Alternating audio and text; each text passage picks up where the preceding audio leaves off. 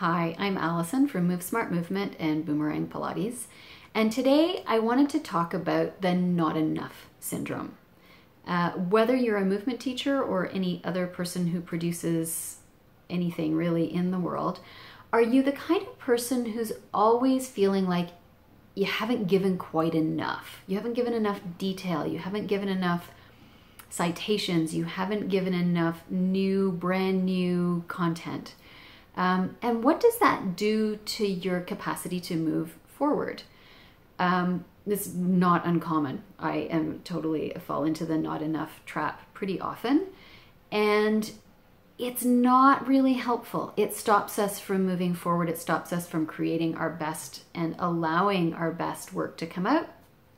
And it it it it, it devalues what we do. So think about how you feel about the word enough. When you feel, when you hear that word, do you go, yeah, well, whatever, like that's just it?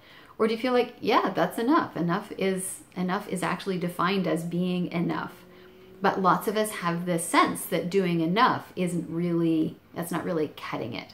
So let's take a look at some of the kind of personality types um, that can end up in the not enough syndrome, the not enough trap. So you get your perfectionists. I'm a recovering perfectionist for sure, and I can get stuck with not feeling like my work is perfect. And if it's not perfect, I shouldn't let it out there because somebody might notice that it's not good enough. And really, it's incredibly helpful to think less about having to create this whole entire perfect roadmap and think about how great it is to get something into the hands of the people who want to enjoy your work. Um, there's a great phrase perfection is the enemy of done. Trying to make something perfect is, is a recipe for never getting it out there. So practice the idea that you're you're not trying to perfect anything. You're trying to make it good enough to be interesting, to be rewarding, to be educational, and that it doesn't have to be perfect. And that's a big task to undertake for those of us who tend in that perfectionist direction. So be gentle with yourself. Start with something small and see how that how that goes. People who battle with imposter syndrome often feel like their work isn't good enough or that it isn't and there isn't enough of it. Uh, that feeling that um, everybody else knows more than I do. I don't really belong in this in this world. And particularly with online stuff we we can see so many people who are producing amazing interesting inspiring work. It can be hard to feel like we belong there too. We bring enough to the table to to be part of that conversation.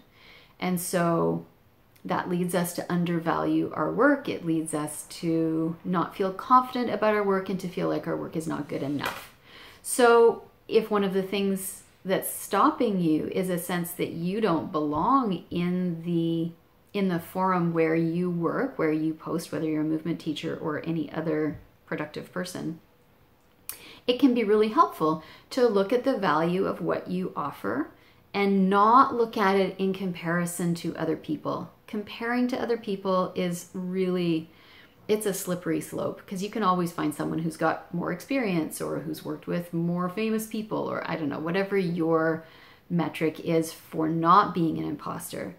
And to instead realize that the people that you're working with, working to help, you know more than they do. And they don't need you to know everything. They just want you to help them with their one thing. You don't have to be an imposter when you don't know everything in the world. Nobody knows everything in the world. You just need to be able to help one thing. You just need to be able to educate one thing and that and and feel really good about that and make a connection and a relationship with the people that you are offering your work to. Critical thinking is a fantastic and important skill and the shadow side to it is that you can end up being so thoughtful, critically thoughtful about all the possible elements and components of your class or your course or your series or your blog or your email or your project or whatever it is that you're working on, that you get stuck in this kind of endless circle of critically thinking about something to the point where you can't see the positive anymore and it feels like it's not enough.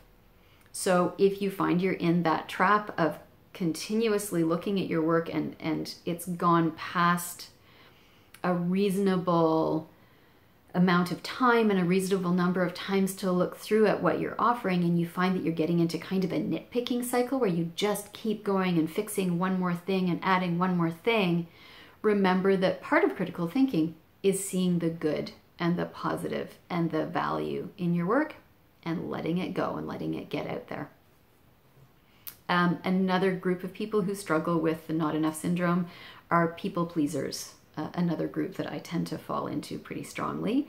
You want to please everybody, you want to answer every question, you want to anticipate every possible need for a modification or a variation in a movement or an exercise. You want to make sure that everybody likes the work, that you haven't said or done anything that could not be helpful to somebody, that everybody has had their issue sorted and solved. That's a very big thing to take on and can't really be done. So don't worry about pleasing everybody. Talk to the person who wants to know about this one thing that you're addressing. And that's one of the strategies for overcoming the not enough syndrome for anybody of any kind of personality type or whatever kind of stopping trap you're in is to break things down into smaller components and just deal with one thing and do that one thing enough instead of getting stuck in this idea that enough means you have to have done everything. I've just recently been working with some people and we we work quite specifically on taking big project ideas and drilling down into each individual component step. What is the least thing that you need to do to get that step done and out the door? And so that's a really great strategy. Take a look at the things that you feel like you're not doing enough of and break them down into little tiny achievable components. And then you get less less stuck in in the hugeness of what needs to be done and trying to do and overdo and overproduce on a whole bunch of stuff. And then it's easier to see, oh, I just needed to do this one thing and that's enough. And then you get that out the door and you move on to the next step. I really love um, the story about Goldilocks and the Three Bears in the sense of exploring what's just right. And I think for those of us who tend into that not enough mindset, we really want the too much. We want the too hot porridge. We, we, we, get, we fall into a trap of thinking that more is better. More's got to be better. But you know what? Goldilocks was not happy with the porridge that was too hot or the bed that was too soft, or the chair that was too high. She really wanted the one that was just right. And Baby Bear and all of Baby Bear's stuff tended to be smaller.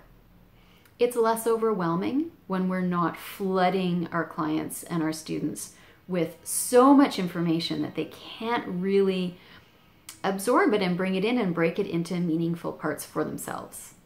So that's a can be a really useful image to hold in the back of your brain as you're working on your stuff.